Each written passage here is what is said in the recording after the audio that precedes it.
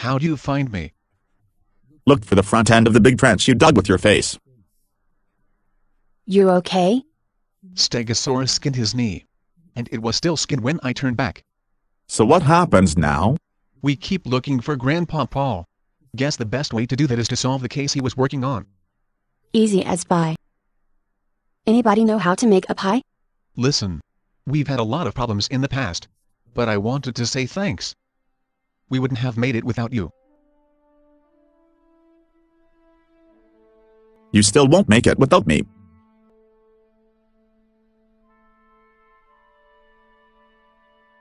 Are you saying you want to help us? I'm saying, I made somebody a promise. I'm seeing this through to the end. Then you can shake hands, right?